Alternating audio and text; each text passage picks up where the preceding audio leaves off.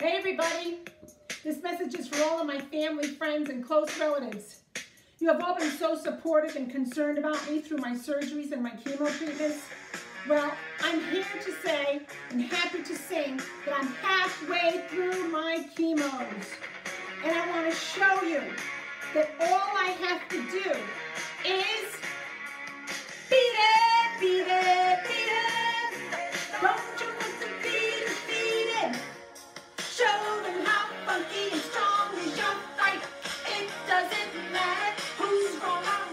just Beat it.